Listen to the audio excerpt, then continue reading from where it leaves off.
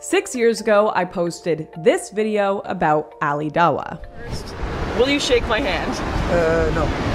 No, you won't shake my hand. Even basic cultural greeting standards within the West are not permissible within Islam, which at the very least indicates there's some level of discussion to be had about the compatibility of this religion and European culture, certainly as more and more Muslims come into Europe and become a larger voting bloc. And to be frank, at the time, I was doing a series of videos all over London and Europe about imported sexism, intolerance, anti Western values that was really concerning and I thought felt would accumulate to something worse over time if it wasn't talked about.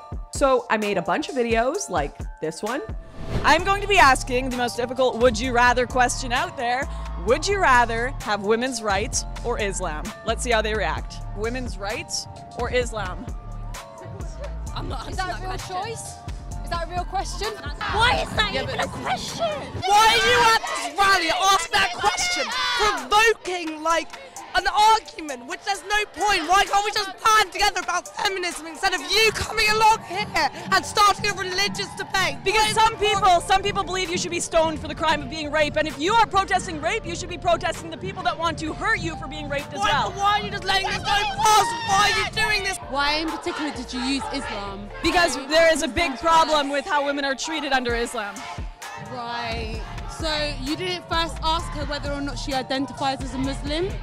No, no, I'm asking feminists. Why are you not asking Muslim women about this? Why are you asking? Well, you don't see a whole lot here, do you? Their husbands probably didn't let them come. Oh my God. Did you just hear what she said to me? A lot more violence in the Bible, and believe me, I grew up Catholic. That's why you see Christians running people over in the streets of London. Oh my fuck. This one? All right, so I'm here in Molenbeek with Sofiane, and you said you've been here three months now. Would you like to see uh, Molenbeek in under Sharia law? Would you like to see Sharia law in Molenbeek?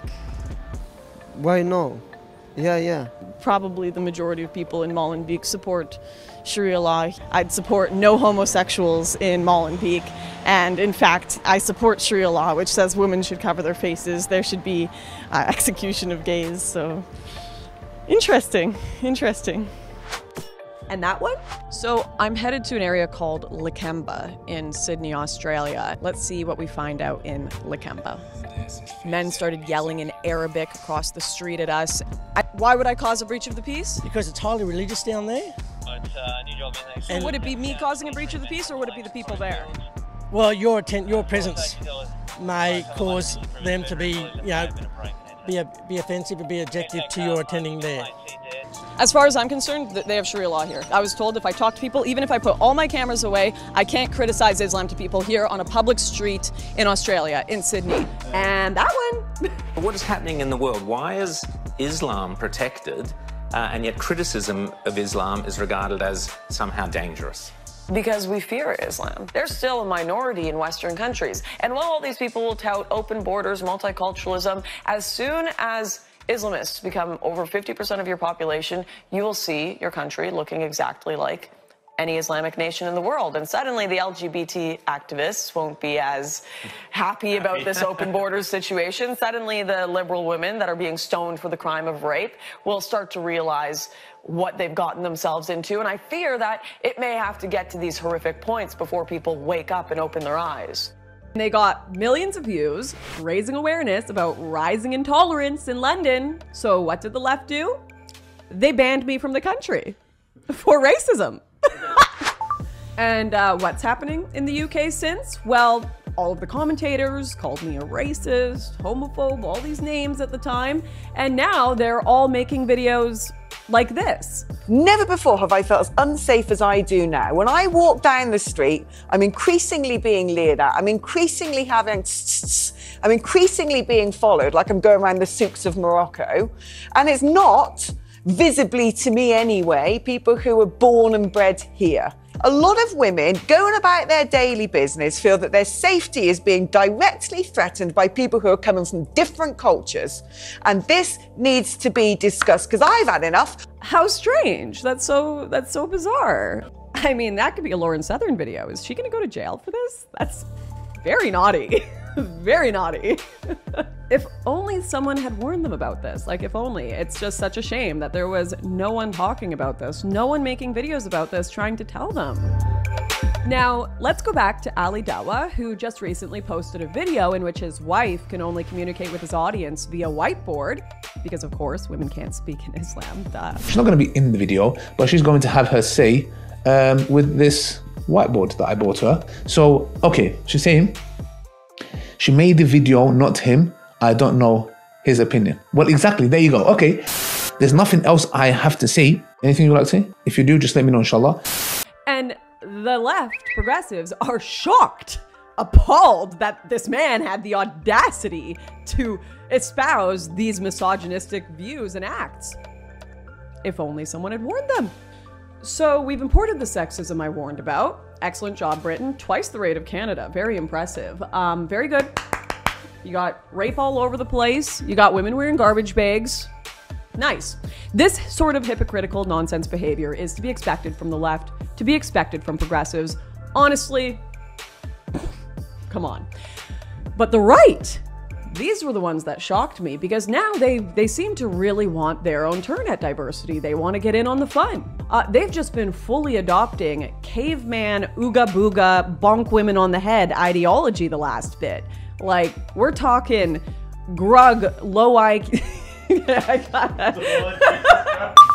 but the strangest thing is, you literally have tweets like this from big right wing accounts, Catturd, where you have a woman saying, Hey, the current market that we're living in, the nine to five, I don't think it's really, you know, designed for happiness or fulfillment.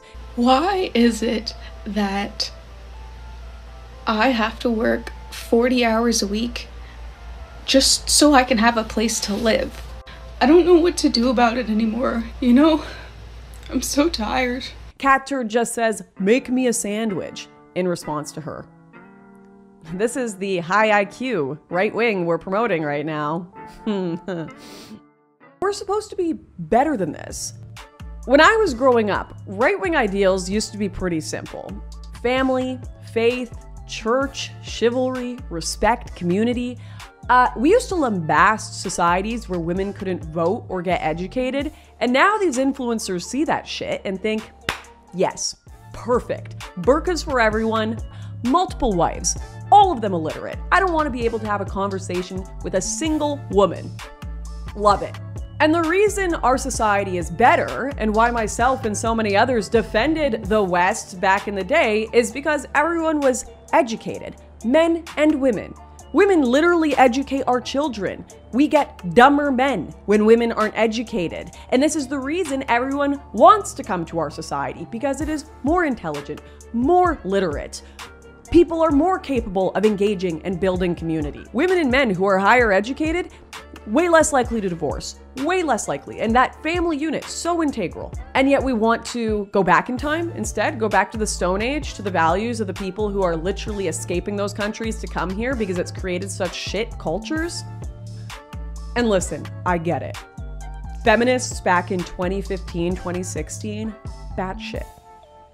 Gone. They were doing stuff like this. How does it feel to be the same sex as Donald? Do you ever get tired of trying to be manly all the time? I love the mansplaining. I'm enjoying it. You're loving what? The mansplaining that's going on. There I was thinking it was just me that had a problem, but it turns out it's the air conditioning that's sexist. I know. Um, so many women in our office have the exact same problem. Man spreading is when a man spreads his physical body to take up as much space as humanly possible. I was on the forefront of criticizing that absurdity, and it was absurdity. But really, in response to this, do you have to go and become barbarians? Listen, the left imported all of this. I don't want to hear a peep, a bo peep from them about the sexism of young British boys. They did this. And now you've got all of these new influencers on the right that say I've changed. I've become some sort of feminazi now, that I shouldn't be critiquing any of this, uh, that I shouldn't even be online at all, commenting on politics whatsoever. Let me tell you right now, I have not changed on this subject one bit. Not one bit. But what has changed is there has been an influx of new demographics with intolerant ideologies who right wing influencers are trying to appeal to. Because There's just as much money in mass migration to be made from the left as there is in the right. And they want to make sure that money's making its way around to everyone, including themselves. So, to make this clear, millions more people with different ideologies come into our countries, and that becomes millions more people to make money off of on super chats, on events, everything. Who cares about morals? Who cares what right wing actually thought 10, 15 years ago? There is money to be made. They're gonna have sex with any guy they want to. You're supposed to have sex with him whenever he says. Women simply just don't care. care too much about the bitch. This is the perfect example that you can be dumb as a girl and make it through life, bro. What? No. What did you say? Fuck the woman, fuck the woman. If your dad cheated on your mom, how would you feel? I applaud him. I'm like, fuck yeah, you got your money up, man. I think if you're in a serious relationship with a girl, she should not have an Instagram. That's cheating. Men don't really need a woman. Can't divorce, and that's not a real thing. Even though it might be like physically abusive. You gotta endure. I recently decided that women shouldn't vote. Oh, I might like family more than you. So much I have five. I'm doing this for money. It's all about money to me. Now, listen, this will be my last point on this subject. I get it. The left imported the entire planet, they fucked everything up. But that doesn't mean the right has to F everything up too. That doesn't mean they have to become lowest common denominator intelligence of our population at the moment. And here's what you can do if you're watching this right now go outside. Treat people with respect and good values. You see an old lady crossing the street that needs help, go and help her. You see a girl at 18 trying to join OnlyFans, don't give her a podcast mic and start mocking her. Invite her to your church barbecue. Cultivate family. Speak truth. Value education. Act in general decent and good ways. And stop watching this trash.